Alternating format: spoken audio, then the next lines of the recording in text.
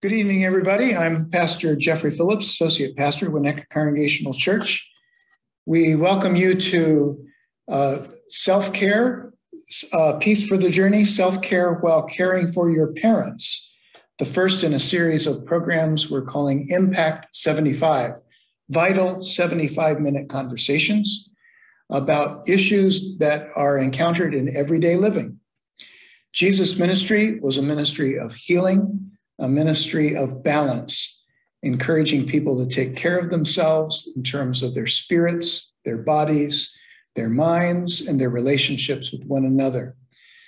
And we try to live that out today by encouraging that kind of balance, that kind of finding joy in living, finding mental health, mental wellness, and spiritual wellness in our everyday living so these programs, Impact 75, will each one will have a different focus, but each one will be about helping people to live well in their lives despite all the challenges that we face because of the pandemic and because of all the other challenges that just come with being a human being. Tonight's program is about caring for your parents and caring for yourself while you're caring for your parents, if you happen to be in that situation. The program is being recorded and will be available on the Winnetka Congregational Church YouTube page and in our church newsletter, The Messenger. So if anyone would like to view it that way, uh, you can always find it at our website, winnetkacongregationalchurch.org. I'd like to introduce our presenter for the evening. Uh, by the way, before I do that, I'll mention that if anyone viewing uh, this session has an idea for a future Impact 75, a professionally resourced conversation about real life issues that people are facing today, uh, please reach out to me, Pastor Jeffrey Phillips at Winnetka Congregational Church and you can find my information on our church website as well. We would love to hear from you about uh, programs that interest you and that would help um, help you live a better life, and that would also be able to be accomplished in 75 minutes. Um, a low threshold but high impact kind of program. So our presenter tonight comes to us uh, from the SamaraCare Counseling Center. Winnetka Congregational Church has a long-standing relationship with SamaraCare. When we pastors at Winnetka Congregational Church have um, need a resource, such as the resource we're using tonight, or a need for referral for someone in our congregation who needs a support with mental health issues, we go first to SamaraCare Counseling. Uh, we believe in their mission which is to provide mental health care for people regardless of their ability to pay. Uh, the, the therapists that I know at SamaraCare Counseling are all very well qualified and effective in their work. So uh, we're glad to continue that connection tonight. So our presenter tonight is Monica Guilhot-Chartrand. Monica has over 20 years of experience as a bilingual, that is Spanish and English, licensed clinical social worker. She provides outpatient mental health services at SamaraCare Counseling. In addition to traditional one on one counseling, Monica provides connections to community resources for seniors, group education on topics such as grief, depression, memory loss, etc., and support groups for those facing challenges such as being a caregiver. Originally from Uruguay, Monica holds a master's degree in social work from the University of Minnesota and is also a certified Imago. How do you how do you pronounce that, Monica? Imago. You got it all good.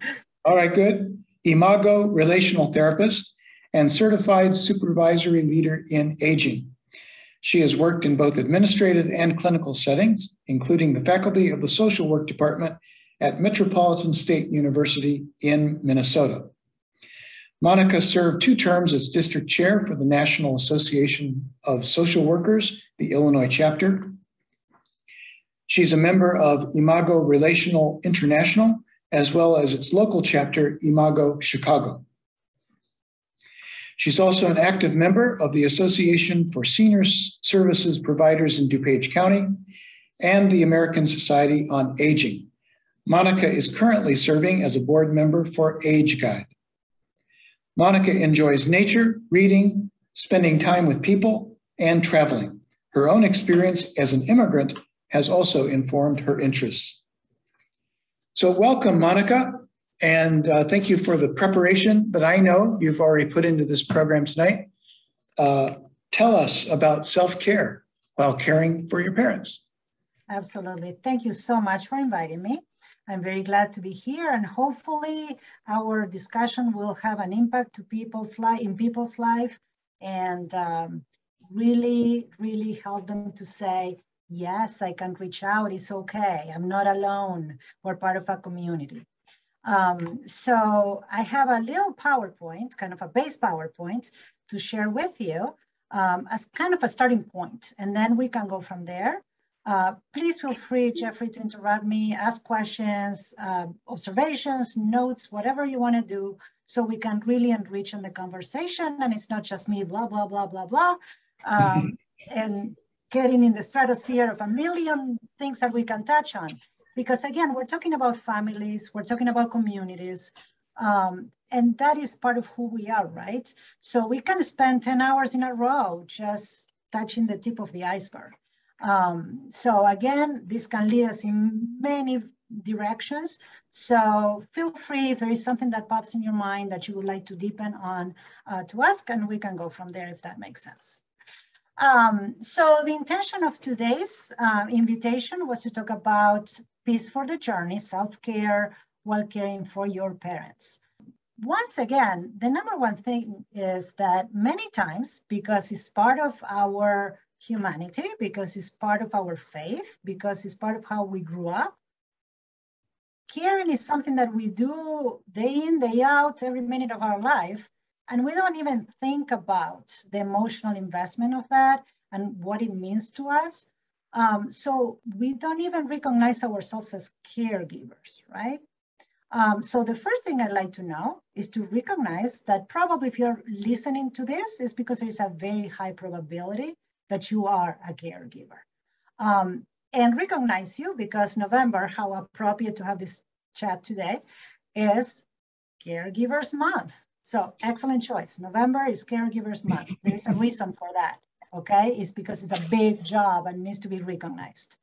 Um, so the first thing I wanted to do with you is to have a very basic definition of what a caregiver is. So the definition of a caregiver that I'd like to present today, just for the sake of defining your role, is a family member or paid helper who regularly looks after a child or a sick, elderly, or disabled person. Family caregivers refer to family of origin, extended family, domestic partners, friends, or other individuals that support another person. Family provides 80% of the long-term care in the US. Most caregivers are women in their 40s and 50s. Many are sandwiched between children and parents, and some are spouses and are themselves elderly. So given that definition, um, I like to pick on a couple of concepts in there. Um, many times we think that a caregiver is somebody that comes from the outside and is helping a certain group with certain tasks that the receiver, the care receiver cannot do. But even if you put it within a cultural frame, there are situations in which caregivers are family members that are doing their job, quote unquote, as a helper, right? Um, in terms of who is a family caregiver, I really want you to um, kind of um, expand your mind about who that can be. So I'm just going to give you a little example here. Um, I used to run a support group for Parkinson's caregivers, right? So we used to do like a kind of educational group first with the Parkinson's client or patient and the caregiver. And then we would divide to do a support group for the Parkinson's patient and the Parkinson's caregiver. And then in that caregiver group, there were a lot of spouses, makes sense. There were children or adult children, daughter, or son.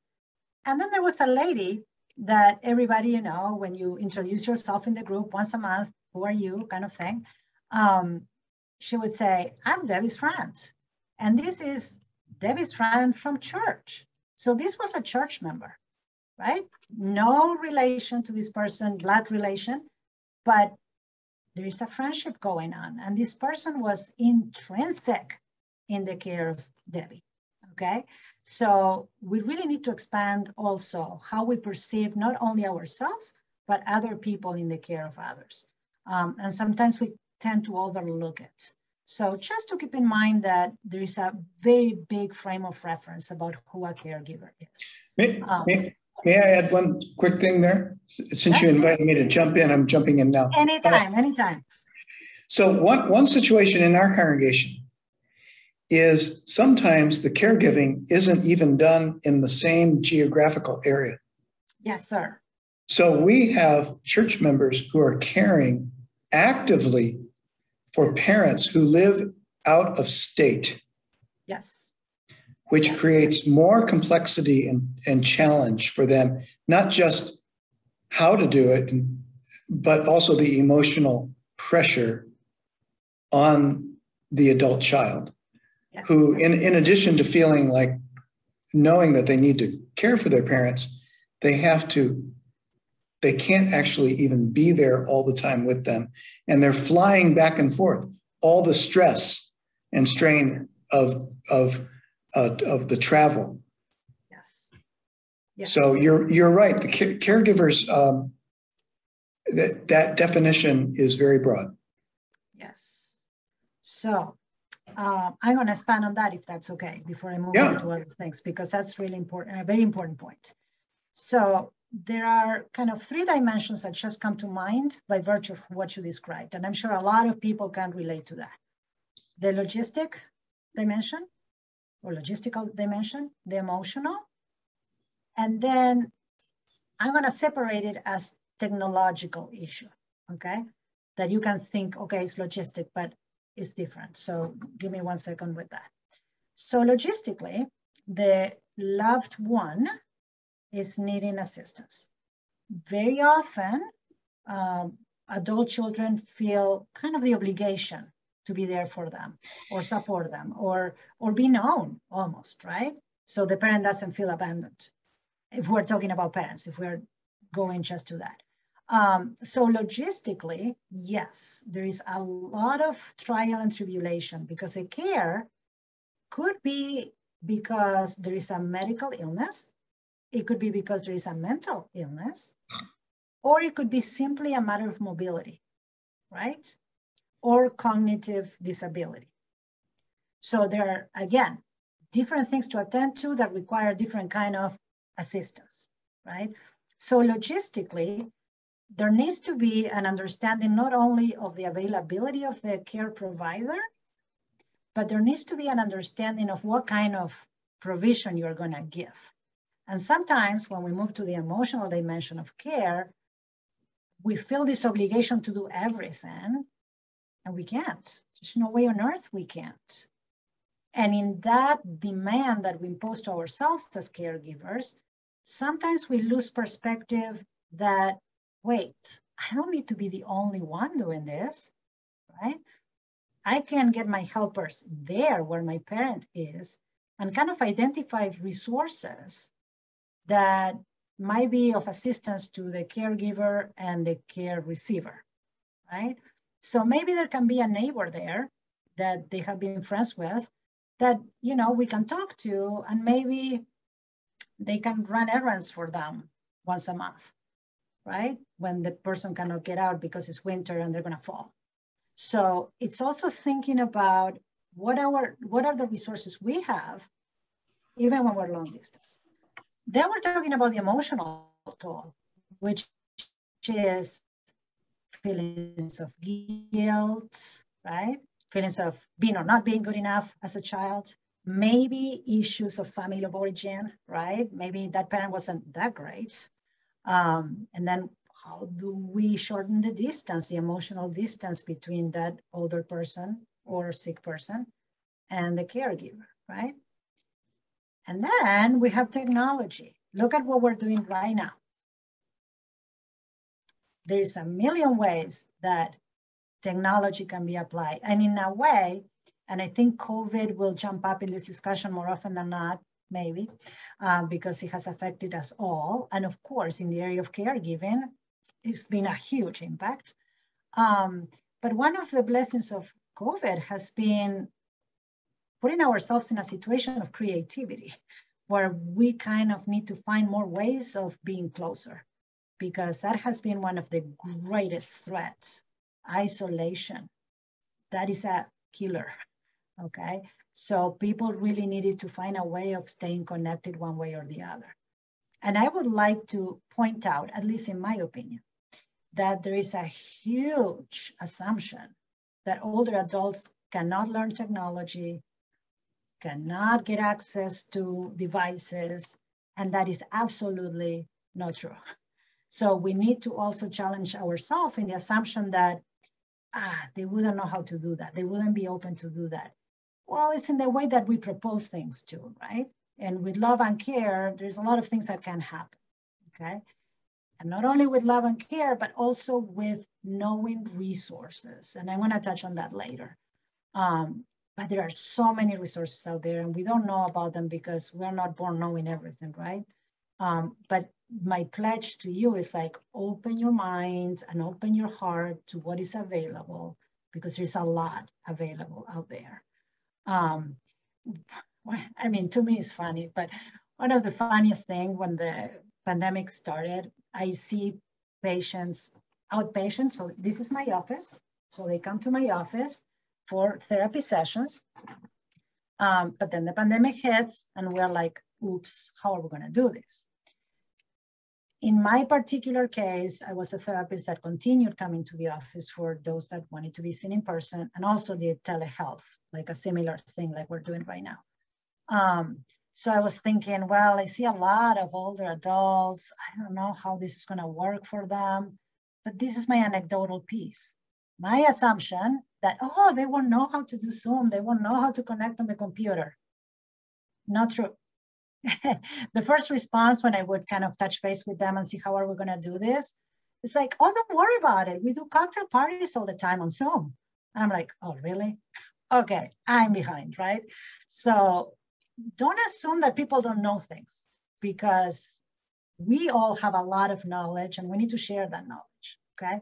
And another thing I figured out is that my whole scope of clients, because I don't work with children or adolescents, I work with adults, but I see a lot of people in the older adult category. Those were the ones that 90% kept on coming to the office, no matter what COVID was doing of course, with all the protocols needed, with the masks on. Why would you think, Jeffrey, that they were still coming to the office religiously? Just a wild guess. Because they needed the socialization. They needed the connection. That was the highlight of the week, right? Mm-hmm. Yeah, right. Very special. So, so important, so important. And sometimes we put again a lot of burden on ourselves being a caregiver and sometimes they don't need to go to assisted living, right? Sometimes they just need to have some community they can belong to and make that happen. Just give them a ride to church on Sunday. And they will be incredibly thankful for it. And you're doing a huge favor to them. That's not small. So when you think of helping and being there and providing care, it doesn't need to be something completely complex, right? and very elaborated. It's just a connection, right? Knowing the person knowing that they're not alone. That's the mm-hmm. bottom line, to be mm-hmm. honest with you. Yeah, good. Um, Thanks. So before we move on, do you have any other question or observation? Uh, no, uh, go, go ahead. Okay. So uh, what the, the other piece I have on that slide is that caring for another we care for ourselves or end in burnout and frustration. So again, it's not about the level of care we provide, it's our ability to provide it, okay? So many times we can feel very overburdened. In the definition of who's a caregiver, we were talking about people that are sandwiched in between generations, right? You have your children to take care of and you have your parents to take care of. How do you divide your energy and your time and your availability, right? So it's like the little story of the plane and the oxygen mask. You don't put it first on the child, you put it first on you, right? So self-care is not selfishness, it's care of self, right? And we need to really concentrate on that before we move on to taking care of somebody else. And sometimes we think, well, that's really difficult because I don't have time and I don't have energy and I don't have the resources. Who's going to take my kid to this and that? And who's going to take my parent to this and that? Well, hold on. You can still do all that, but you can do practices that foster self care. So,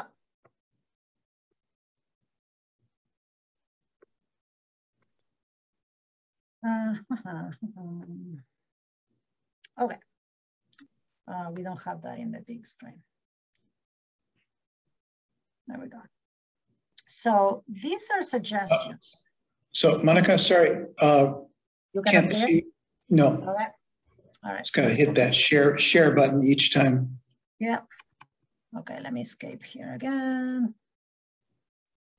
I'm gonna put. Uh, technology is a beautiful thing. share screen. Here's my screen. All right. Duh, it's not the big screen. Start over. There it is. There it is. All right. So these are just simple suggestions uh, on ways to increase your self-care. And once again, um, I'm going to assume that you guys are well-informed people, well-intended people, you pay attention, you learn from what you have around your world, and you may have heard about these things. The trick about these things is not that they are so hard to understand and so difficult to learn. The thing about these ways is that we need to practice them. And if we don't practice them with intention, they will not happen and they are not going to be helpful. Okay. So intention and attention to these tips is basic for your self-care. So prioritizing sleep, practice good sleep hygiene. And if anybody wonders what sleep hygiene means, it's just, okay, your routine to get yourself to having a restful sleep. Routines, that's what sleep hygiene is. By getting enough sleep each night, resist the urge to stay up late, binge watching the latest Netflix show. And you may wonder, maybe one of you will think, oh yeah, but I need to watch Netflix so I can get distracted and ease my mind. Well, that's wonderful, but your priority is to prioritize sleep because we don't function well if we don't sleep enough. And we have more than enough distractions where that is an issue and it's kind of an epidemic issue, the lack of sleep. Um, eat well. The food we eat affects our physical and emotional health. So make sure you eat a well balanced diet. And I'm sure that, well, I'm not sure, I imagine that when you think about your loved one that you're caring for, that's one of your priorities. You need to make sure that they are eating what they need to eat, that they have enough calories, that you attend to their uh, hunger issues because sometimes when somebody we're caring for um, is depressed or has some kind of health issue that doesn't make eating enjoyable, um, they are not really taking care of that. But both of you need to take care of your balanced diet because if your diet is not balanced, then your energy level is going to be affected. And again, we get into this vicious circle um, benefit from the physical activity of your choice. And I'm not asking you here to do four hours a week of cardio work. I'm talking about kind of more of a mindful uh, setting, like trying walking in a forest preserve as the leaves change color this fall. Can do it tomorrow or practice some yoga with online classes. This is another thing that I like to challenge, and that is that sometimes we believe that resources are there only if we can afford them. And that is not necessarily true. Uh, we have resources like AARP, very affordable annual fee. They have a million online classes for fitness for every difficulty level. That's just an example. So there's a lot of things we can do again if we open our mind to resources. Stay social. Maintain your social connections by meeting up with family or friends for outdoor activities and or FaceTime those you haven't spoken to for a while. Connections, connections, connections.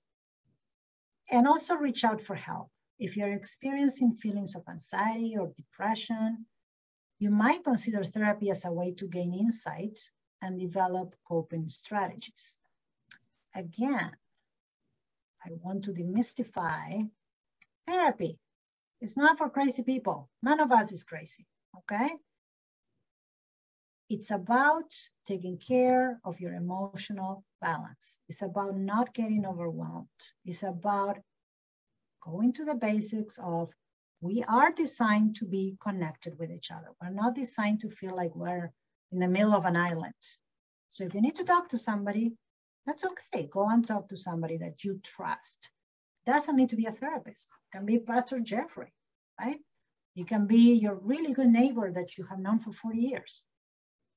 Of course, somebody you trust. But it's okay. It's okay to get out of yourself. You don't need to do this alone. So, um, any questions or any?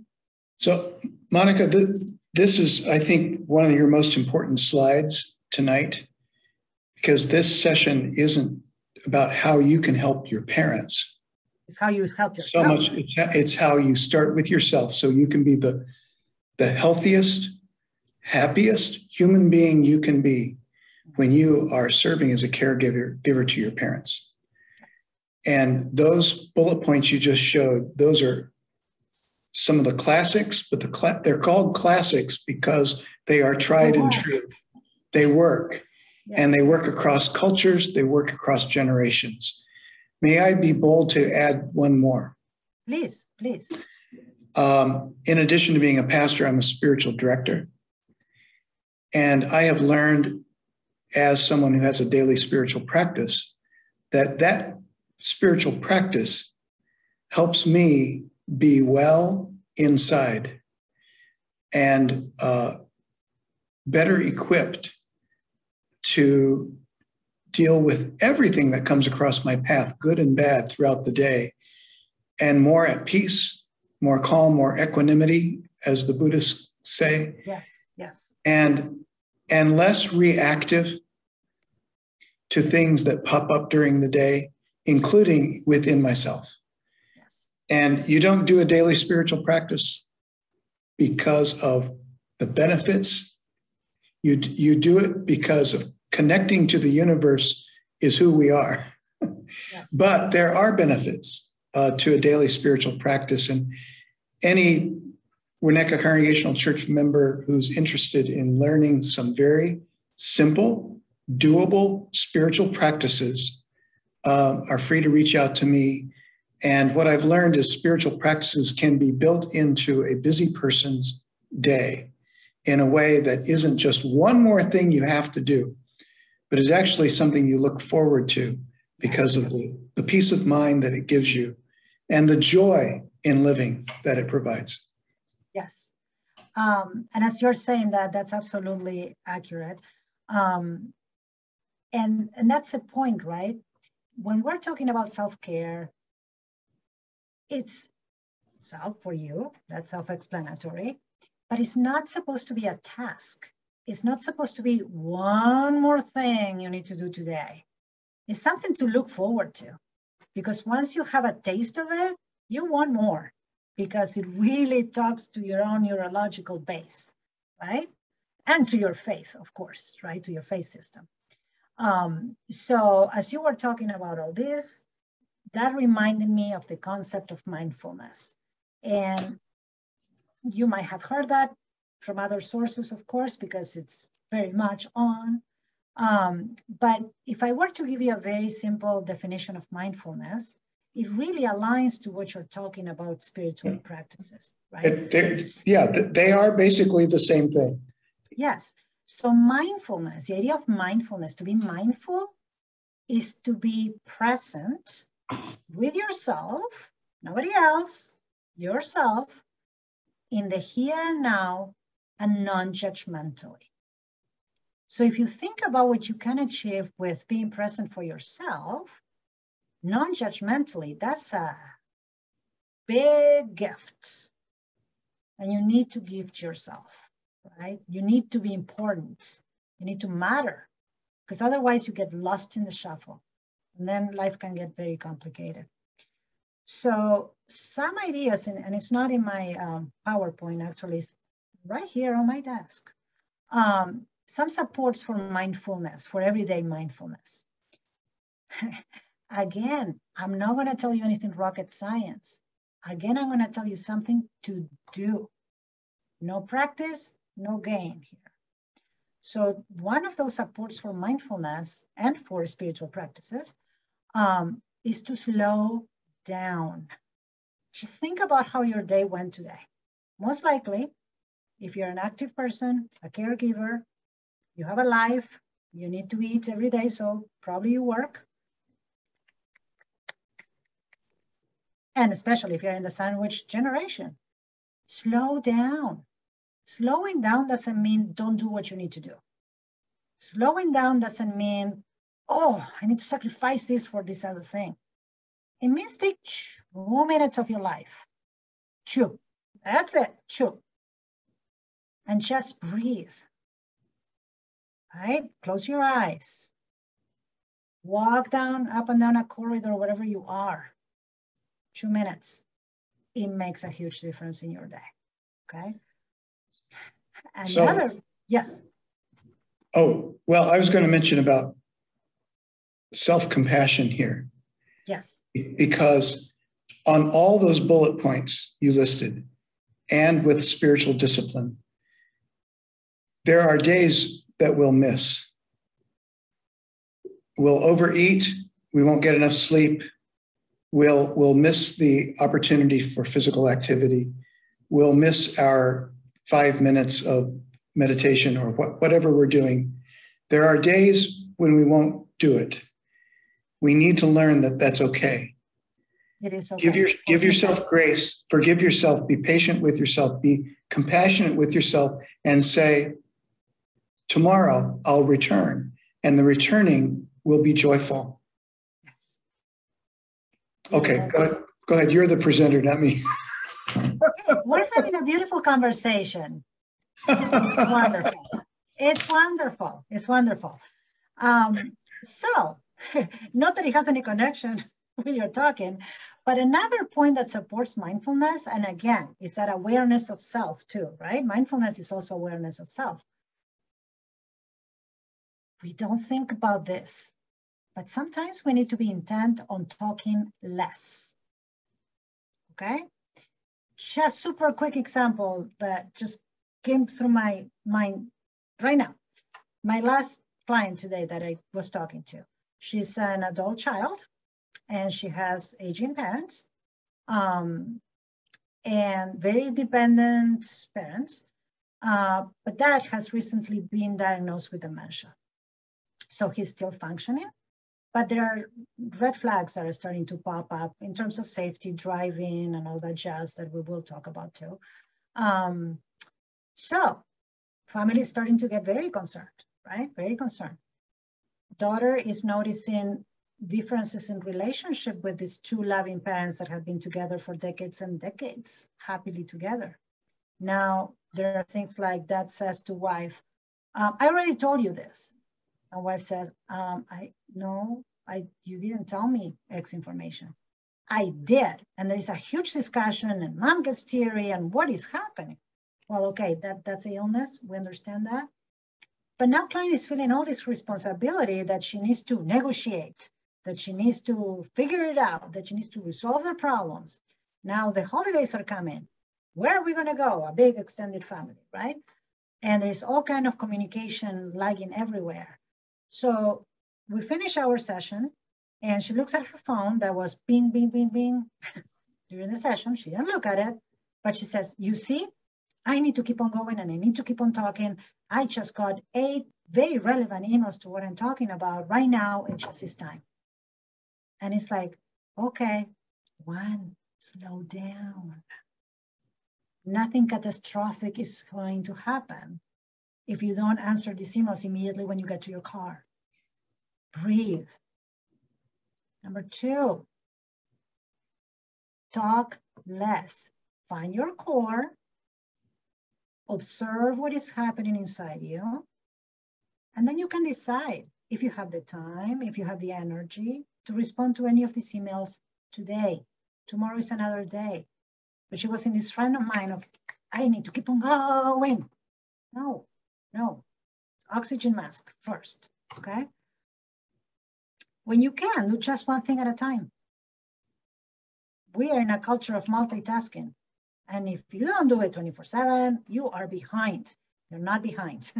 You're not behind. You need to concentrate, you need to think, you need to reflect. Reflection is at the core, part of a spiritual practice too. Very important. Don't forget to breathe.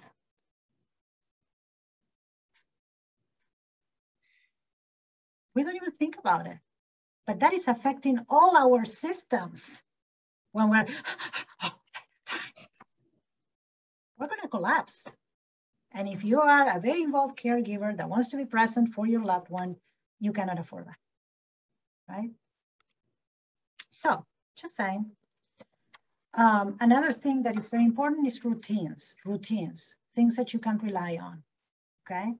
And it can be totally tailored to your needs. So I'm not gonna tell you what to do with your routines, but remember that those help you have a sense of uncertainty although the only certainty in life is uncertainty, right? And having tolerance to living in that space is part of your self care too. Okay, we don't know everything, we cannot do everything. So slow down, use your resources, look around, and you're not alone. Okay, reach out. So before we move to the next slide, is there anything you would like to say? Move, move on. This is great. Awesome. As I mentioned at the very beginning, resources are galore. Initially, when we start this journey of caregiving, we're overwhelmed, we feel very vulnerable, we feel that a huge burden, and I'm saying that with love, is upon us because we feel responsible for our loved one. But when I'm talking about slow down, is again, slow down to look around because there are many, many, many resources. So these are just a bunch of suggestions that I happen to like. And since I'm talking, I'm offering. Um, so I have a bunch of recommended readings. I have some websites and I have some organizations for you to reach out. Of course, I will not cover everybody's needs at all, but these are just starting points. So there is this beautiful book by uh, Thibault and Morgan that is called No Act of Love is Ever Wasted, the spirituality of caring for persons with dementia. And again, if we're talking about dementia, that is a heavy duty opponent to our sense of balance, okay?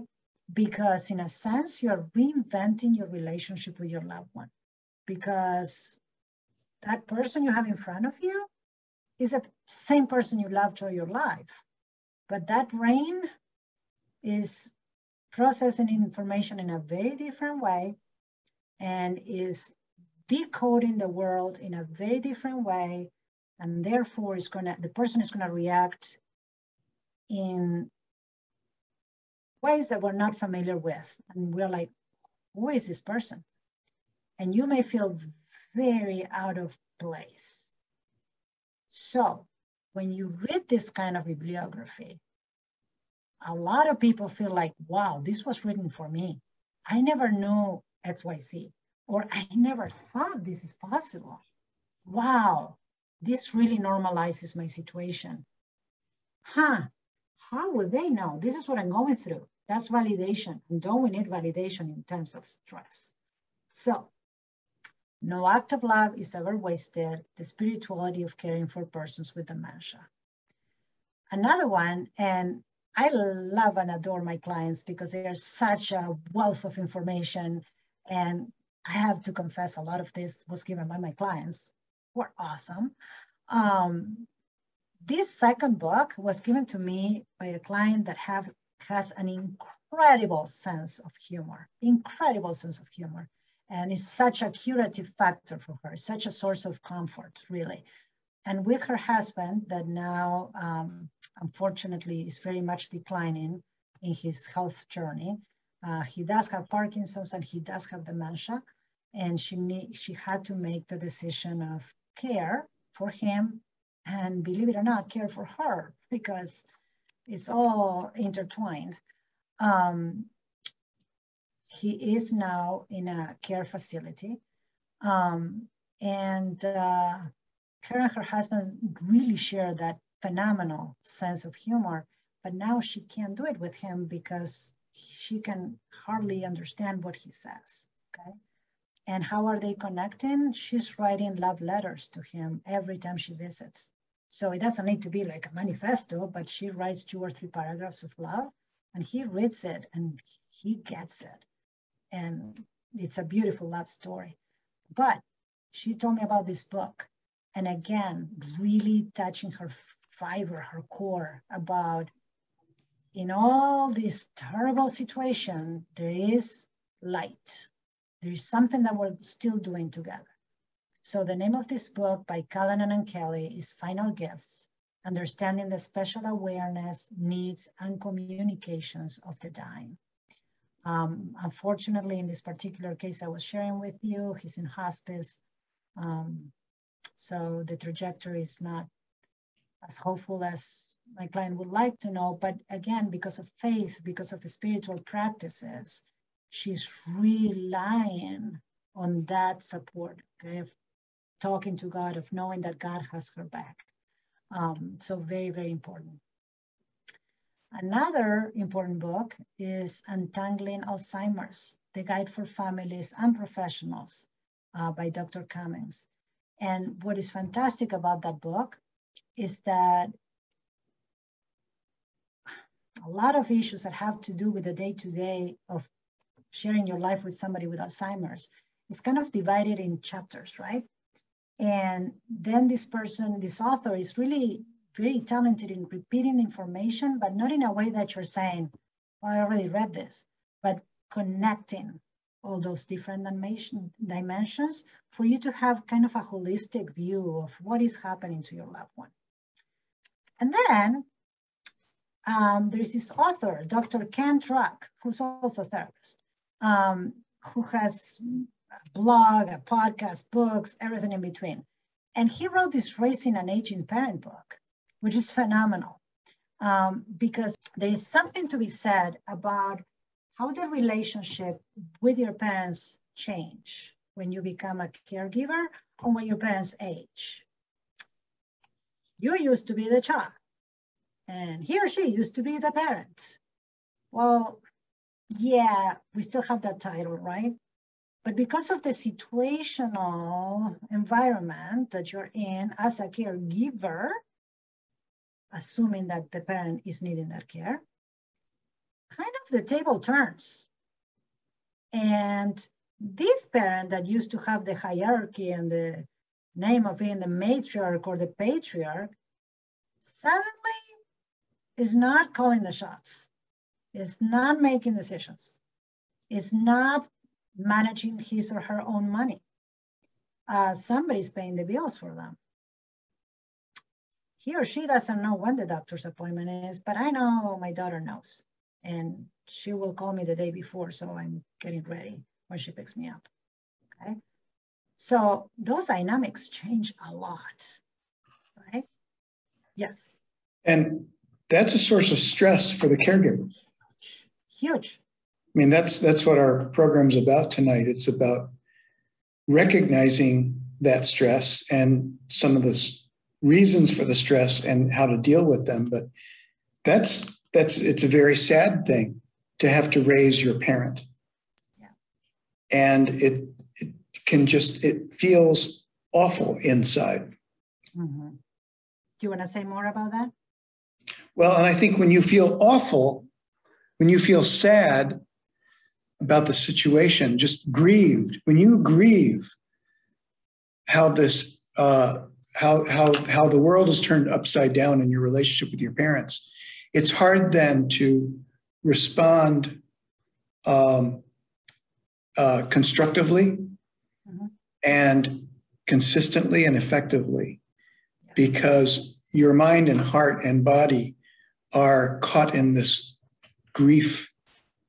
Yes, yes. But if you recognize it, which you're helping us do tonight, Monica, if you recognize it and say, that's why I feel you're so so paralyzed, uh, it's because I, you know, I just am so sad about this situation.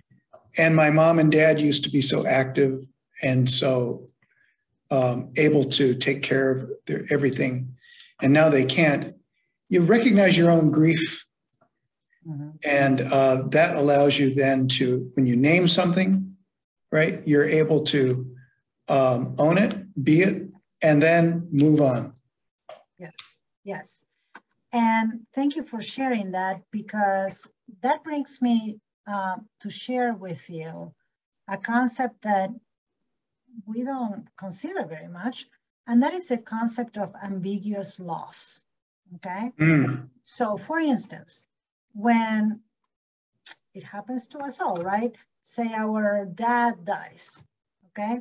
Well, dad died, and you are mourning the death of your parents. So, you know what you're doing, and you're having a grief reaction. And again, grief doesn't have an expiration date, and grief can happen to you in many, many, many ways. There is not a prescription on how you grieve, right? but it's a clear loss. Your dad is gone. You know, even though you might even dream about it or imagine that your dad is around the corner, right? And he's gonna come in as he did every day to have coffee with you. Ain't happening. Okay, you know that cognitively, right? And you deal with it. You deal with it. But ambiguous loss is when you have this very concrete and real loss, but the person is still there. So for instance, when I was talking about untangling the and understanding it, and having a different relationship with this person that is not the person you used to know, while you're grieving the parents that you know, and yet your parent is right in front of you. Your parent is not gone. So that ambiguous loss that is physically present but mentally not, wow, that adds another level of confusion and loss and grief. And is the phrase anticipatory loss too? I mean, you when you're caring for your parents and they are not well, I don't know if that's the right phrase, but you you know that this is they're going to they're going to be gone, mm-hmm. and it's and it might get worse uh, before that, yeah. and that can compile uh, that can put more anxiety upon your grief, yeah. and um, it but the key the key of therapy is just to be aware of all these things that are going on inside of your heart and mind right? Yes and process them process them. Process that them. that's the word yeah. Yes know that they are normal responses. Yeah. they are normal responses. You're not out of whack. You're not losing it. On right. the contrary you might think you're losing it because it's very foreign to you being this go-getter but no, what you're trying to do when you process all this grief is to find yourself again, because you need to ground yourself in order to move forward, right?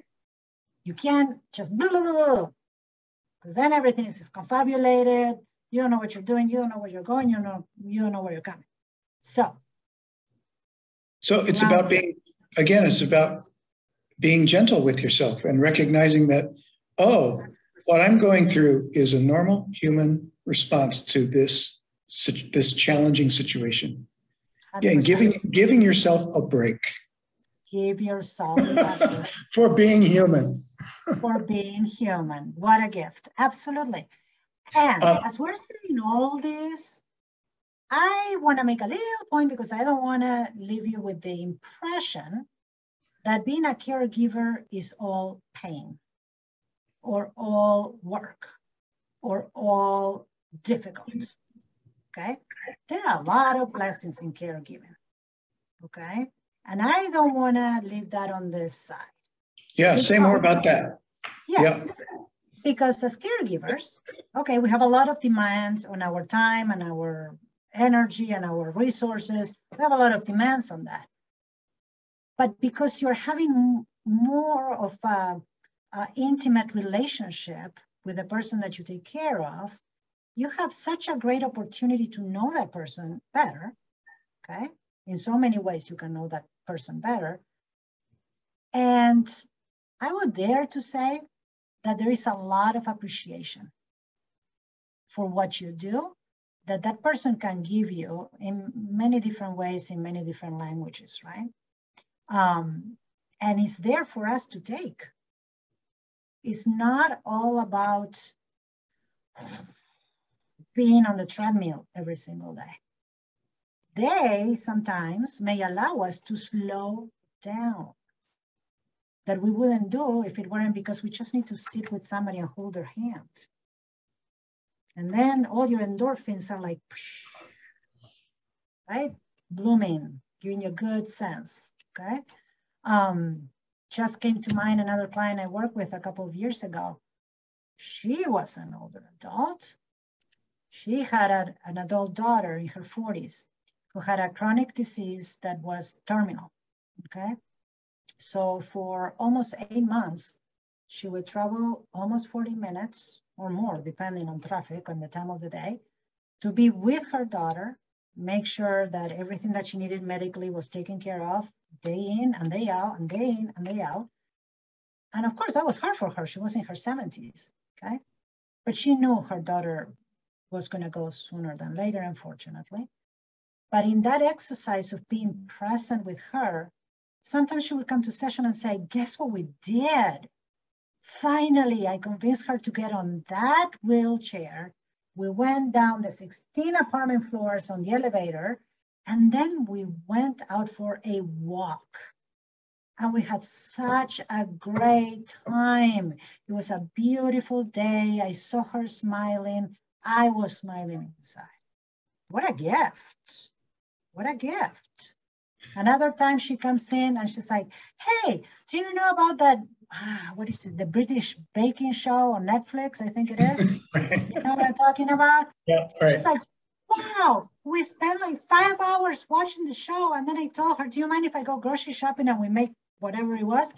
And the daughter says, I would love that. And they had a party. That was their party, right? So caregiving is not just,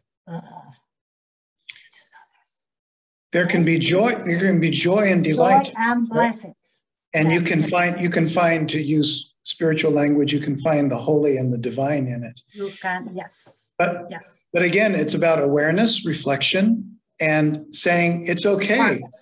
And it's okay to feel that joy at this this intimacy too.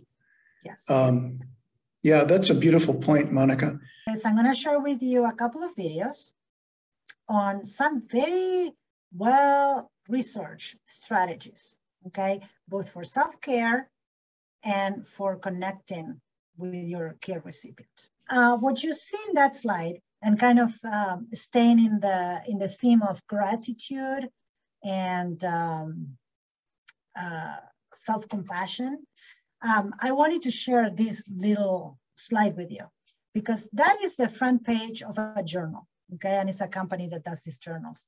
And this client I mentioned once about having this wonderful sense of humor, she brought it to me and she said, Look what a friend gave me. And I thought, wow, that is fantastic. This is the attitude to have around caregiving. So, what he says, because the letter is really getting small, is okay, fine, I'm grateful. A journal to catapult me from my default position of grieving and negativity to the long resisted stance of counting my blessings. Because it turns out that focusing on the positive actually might be better for my mind, body, and spirit, in no small part because unhappiness is the gap between expectations and reality. so even though this whole gratitude thing feels like a bandwagon on the woo-woo train, the fact is that deep down, I'm ready to start looking at the roses rather than the thorns. And if you absolutely force me to admit it, I will say that in all actuality, I do have so very much to be grateful for. All right? Beautiful. Yes, it's a wonderful attitude. Because guess what? At the end of the day, we're all finite, right? And most likely you love the person that you're giving care to. And one day that person is not going to be there. And all these are opportunities for joy too. It's not, again, just work, work, work, work. There is reward in what we're doing. Okay. So going back to the video. Being a caregiver can bring out all kinds of emotions. One day it may be rewarding and fun, while the next it might be stressful and draining. It's a demanding job, and sometimes caregivers get so wrapped up in their duties that they start to neglect their own health and well-being. In this video, we'll teach you how to recognize some of the signs of caregiver burnout and give you a few tips on what you can do to prevent it. On the best days, caregiving is empowering. It brings you closer to the person you're caring for and provides you with a sense of purpose and inner strength. However, it's just as likely that being a caregiver will cause you to experience negative feelings. You might even feel several emotions at once scared about the future, angry about your situation, frustrated about your limitations, and anxious about all the things you need to do. The good news is, these feelings are all perfectly normal. The important thing is to recognize when they're happening and deal with them appropriately before they lead to a bigger problem, like caregiver burnout. So, how can you tell whether what you're feeling is burnout or just normal exhaustion? Here are some of the symptoms to look for. You feel a strong urge to run and hide from your responsibility. Your activity becomes scattered and frantic. You often feel angry and irritable. You have a hard time concentrating and can't read more than three sentences at a time without losing focus. You often lose track of important details. You sleep less than three hours at a time or lose more than 10 pounds. Everyone gets exhausted once in a while, but it's the intensity and frequency of these symptoms that separates a normal reaction from burnout. If any of these symptoms describe how you feel most of the time, should seek help from your family doctor as soon as possible. The best way to prevent burnout is to deal with your emotions as they come up. If you start to feel stressed, angry, guilty, or depressed, take a moment to stop and think about why you're feeling this way. Acknowledge the source and try to move past it. Open yourself up to creating a give and take relationship with the person you're caring for. They may have as much to offer you as you have to offer them. You're both in this situation together, trying to do the best you can with the knowledge and skills you have. Don't expect the person you're caring for to change their entire personality, but aim to find some common ground and work as a team. If you start to feel overwhelmed, try using one of the following techniques to help calm yourself down and ground you. Take a couple of long, deep breaths, breathing in through your nose and out through your mouth. Count slowly down from 10. Trace your eyes along a vertical line from the ceiling to the floor, breathing out while you do so. Put on music by one of your favorite artists. Get some exercise. Any physical activity can help, whether it's stretching, playing sports, or just going for a brisk walk around the block. If you think you're starting to feel burned out, don't be afraid to ask for help. Isolating yourself when things get tough will only make your negative emotions get worse. Your friends and family want to help, but they won't know you need it unless you ask. You can't expect to provide proper care for someone else if you don't also take care of yourself. Being able to recognize the signs of caregiver burnout will help you take steps to avoid it and allow you to provide the best care possible on both the good days and bad. Be sure to subscribe and watch our other videos for additional caregiver support and resources. Um, the reason why I wanted to incorporate this video is to kind of round up all of the concepts that we have shared today. And some of us are auditory learners, right? We learn by hearing, but some of us are very visual, okay? So maybe something that you catch up in that video, you lost in the conversation or we didn't even say it, boom, it sticks with you. So I think it's important to resource to different ways of learning too. It's not just listening, right? It's looking, it's uh, integrating knowledge in different ways. So another video I'd like to briefly share with you um, is about the challenge of caregiving. And this little video gives you a very particular strategy um, to deal with caregiving. So I think it's important for us to have in this conversation. To become a caregiver, it's because someone you care about has lost some skills and abilities, and you step in and you take over which means you are not only managing all of the things you managed in your own life, but you've had to take on some things that they used to be able to do, and you've probably had to learn some new skills. And as your care receiver experiences ongoing losses, it will not be unusual for them to get depressed. So, how do you maintain your own emotional balance? How do you stay up when your care receiver is down? Well, it's tricky. And we have to understand that all of the things that you are doing to take care of them physically, in addition to trying to keep yourself and them pumped up, is exhausting. So, what I would like for you to consider is making your own self care your number one priority. Now, I understand that this is counterintuitive for most caregivers because you're thinking most of the time about meeting their needs. But just for this one situation, I want you to put yourself first. And we're going to go through the three steps of developing an attitude of creative indifference. And I want you to sit down with a pad and um, a pen or go to your computer and write about what you are feeling, what you need, what you believe has to change in order for you to maintain your own emotional balance. And I think that acceptance is the most difficult part of caregiving because we have to accept that as this situation progresses, um, your care receiver is going to experience some losses and both of you are going to have periods of time when you get down. So, what can you do? What are the action steps? Number one is as a caregiver, you need to make your own health a priority. In one letter that my mother wrote to me, she said, Well, I decided last night that I will be of absolutely no use to Quentin if I end up in the hospital or the morgue. So this morning, I called the doctor and I made an appointment and I'm going to see him next week. Please follow Madeline's lead. If you feel like there's something going on with you physically that needs attention, get it taken care of. And then I would like for you to sit down and make a list of the types of activities that have reduced your stress and brought you joy in the past. For my mother, it was sitting up and reading a book at night for me, my my go-to endorphin booster has always been getting out in nature and going for a walk. For my daughter, it's always been uh, spending time with her dogs and, and, and playing with the dogs and going walking and running with them.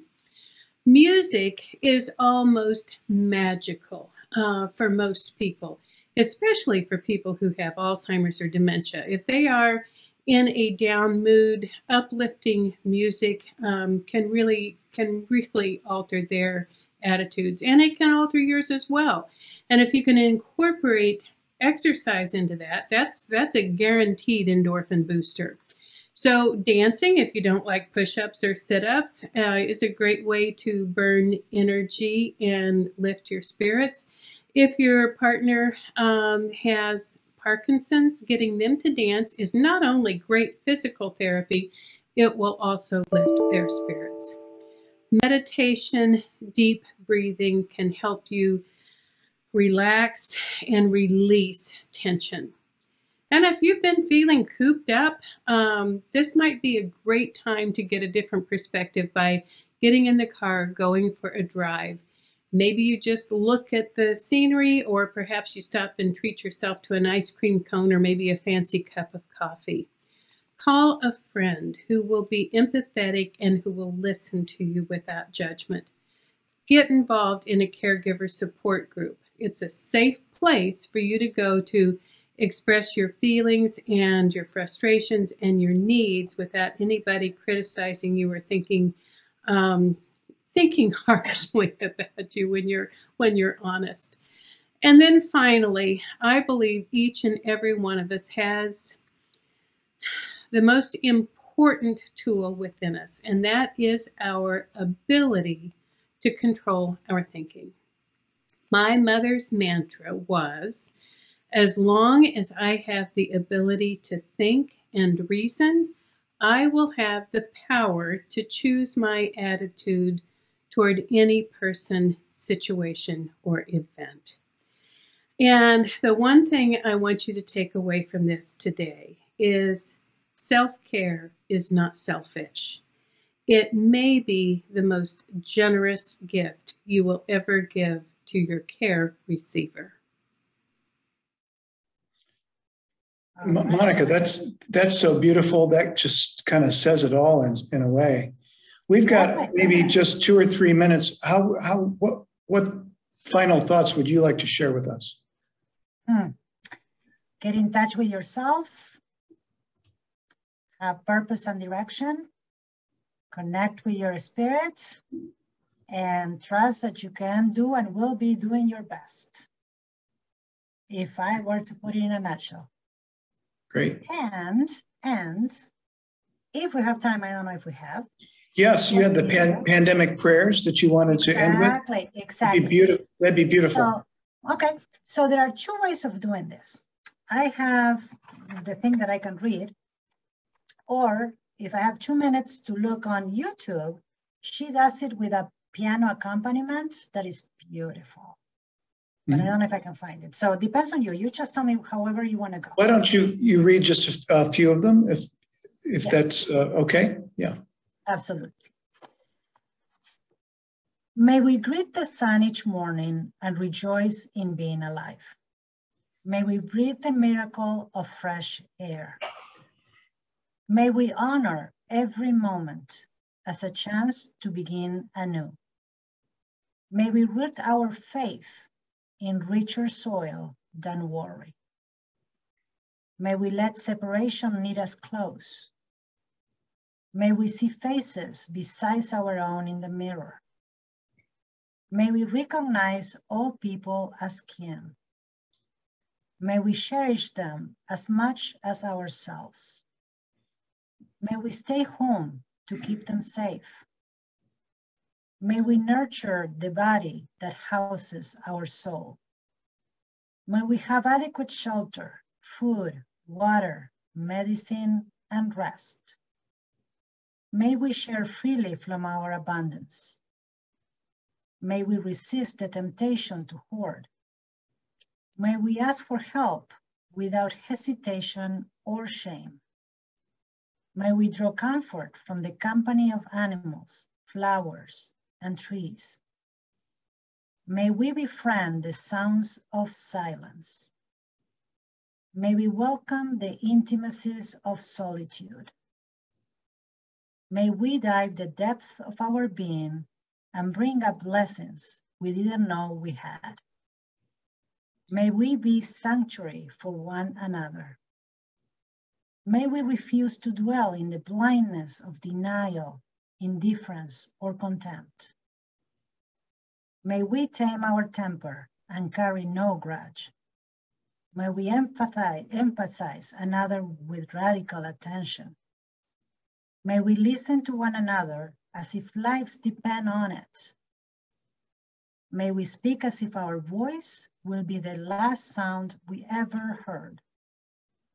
May we explore how to touch without touching how to hold without holding. May we not be embarrassed by tears and trembling. May we learn from our children the joy of unstructured time and the solace of routines. May we reassure our children about the monsters beneath their beds. May we create new rituals of togetherness. May we laugh from our bellies. Maybe we can cultivate wonder. Amen. Amen. Uh, Monica Guilhot-Chartrand, thank you so much for being the, fir- the presenter for our very first Impact 75 Vital Conversations. Uh, and you have you have presented a way forward for people uh, in theory and in practice who might be feeling overwhelmed by the need for being caregivers for their parents. And this is exactly what we were hoping to achieve tonight. So I thank you. I thank you so much for your warm presence and your information, your knowledge, and wish you well in everything. So for everyone else, thank you for joining us for this initial presentation in Impact 75. Um, you can always find this uh, on our church's YouTube page. Be well. Good night.